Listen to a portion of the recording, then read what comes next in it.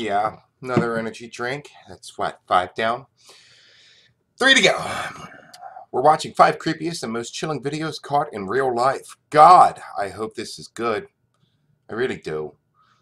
I really fucking do. It's by Dorset Ghost Mysteries. I'll leave the link to this video in the description below. Um, I'm home alone, so why not watch something fucking weird and creepy? Maybe you'll scare the shit out of me.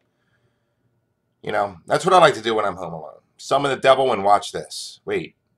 Nope, that's what I like to do. So, let's do this, bitches. Imagine what it would be like being watched by someone that is capable of murdering you or filming Wait. Yep, nope, can't imagine it, sorry.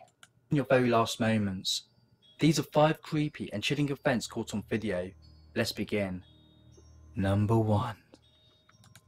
You ever notice in these videos they they they they started off all monotone like fucking Ben Stein for the Clear Eyes commercial, and then when they do the numbers, they're like number one one fucking Wishmaster. They get all creepy, and then they go back to like the normal monotone. What was this shit? What was this? Uh, they go back to the monotone shit. Number one. Over in England, there was this thing going on with this thing. It's fucking stupid. On 16th of April 2014, Told you, back to the normal voice. 14. the 6,825 ton MV Sewol capsized while carrying 476 people. Most of them were school kids. The chilling footage that you're seeing was filmed by senior school kids that were inside the MV Sewol at the time it capsized. The terrified young teenagers were told to stay where they were inside their cabins by crew members. At first, the school kids were nervously laughing and joking, believing the likes of the captain, teachers, and crew members would help them. What they didn't know was that when the ferry began to sink, the captain and his crew members evacuated the MV Sewol and That motherfucker said, we out, we out. That's it. Fuck these kids. These ain't my kids. I'm out. Fuck them. left the kids to basically die. He didn't even change his order for everyone to evacuate. These terrifying scenes were captured as the school kids were in tears talking about their loved ones. How terrifying it must have been when they were so young in a sinking ship with no adult supervisors or loved ones to help you. Isn't it great? Any other fucking time kids are like, yeah, respect me, respect me. Shit goes down, mommy. It's just fucking people, man. I mean, this is fucked up. Like these, these, the, the fucking crew and the captain was like, oh, we got kids below deck. Fuck them. they just rolled out. It's- we only have one lifeboat. There's ten kids. Fuck them. Over 300 passengers died. The captain was later sentenced to 36 years in jail. You goddamn right. What the shit? they should have put his ass in a fucking ship and sunk it. Is charged with murder. What happened to fucking, you know, the captain goes down with his ship? What happened to that shit? murder. The owner of the MV Sewol, who was wanted by the police for questioning, was later found dead. Number 2 This creepy video was taken by Steve. Oh, the nighty what? Hey, bitch, I wasn't done reading. Lauren Giddings. Wow. This creepy video was taken by Stephen McDaniel on the night he killed his classmate. Okay, that dude just looks like batshit crazy. Like, just you can see it in his eyes. Like, I'm pretty sure he might have stuck his dick in her liver. Not like through her vagina, but like pulled her liver out and stuck his dick in it. Like this, this dude looks fucking nuts. and next door neighbour Lauren Giddings. He spied on her for a couple of months before he then broke into her apartment wearing a black mask and gloves. Lauren Giddings then fought with the masked man to get away. This is when she realised that she knew who the man was, as she managed to pull off the mask and found out it was Stephen McDaniel. Stephen then strangled her to death. Ow. He then chillingly went back to his room and went on the computer. A few hours later, he returned to the scene where he then cut Lauren up using a chainsaw. He then dumped her body in a trash dumpster outside the apartment complex they both lived in. The cops So this dude kills this chick, leaves, comes back, cuts her up into pieces with a loud ass chainsaw, takes the body parts, puts it in the dumpster at the same hotel. Like, dude, why don't you just call the cops? We're like, hey, I'm gonna go over here and kill this bitch.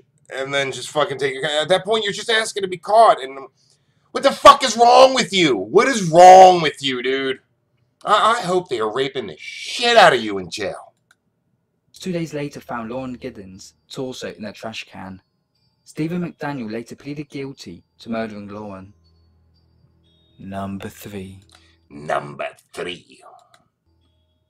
Imagine living in total fear of being watched. Well, for John Lang, this was his reality. Dude, first of all, I always feel like I'm being watched, okay? Going to sleep is a fucking nightmare. I'm laying there, I'm like, eyes closed. It always feels like someone's just standing there staring at me. I wake up, fucking cat staring at me. I'm always being watched. Big Brother's always watching us. All of us. They know. See?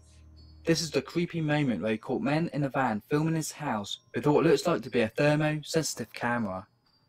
What I find quite disturbing about this is not only must it have been quite intimidating to see men filming your house, but the equipment they're using is quite sophisticated and expensive, meaning he could be dealing with professionals. When they saw that John was also filming them, they panicked what? and you could see them shutting the door. Why would anyone want to film John Lang though? Well, John was an activist against police corruption, and some of his allegations were very serious. So Oh, it's no shit. surprise that he was disliked by the police force. So scared that his life was in danger, he posted on his Facebook, warning the public that the cops are trying to kill him. I'm reading it real quick. Just wanted to give you guys a heads up. If anything happens to me in the next day or two, it'll be the result of the Friendswood Police Department, my neighbor, and an employee at my job pay less brakes and tires on Blackstone. Jesus Christ. Ten days later, John's house was on fire. Inside, John was found dead. He was stabbed and then burned. Someone had murdered John Lang, but no one has been charged for the murder. Number 4 Harrison Okene was one of the 12 crew members of a small tugboat when it capsized. For three days, Okene suffered in a small pocket of air inside the overturned tugboat. This is a chilling video that was captured by a rescue team. At first, you could see this ghostly hand coming towards you. To be honest, when I first saw the footage, I thought it like something that you'll see from a horror movie. You then could hear the utter shock as the divers realised that one of the crew members was actually alive. At the time, the diver thought that the hand was of a corpse touching him. For three days, Okene, the only survivor, was living a nightmare where he could hear his other crew members being eaten by fish. He lived in complete darkness with no food, and all he drank was one can of Coke. In his native country, Nigeria, It's Coke. it's Coca-Cola's newest commercial. I'm like, this is fucked up. Like, Jesus Christ, dude. some believe that it was such a miracle that he survived that they asked him if he used black magic to survive.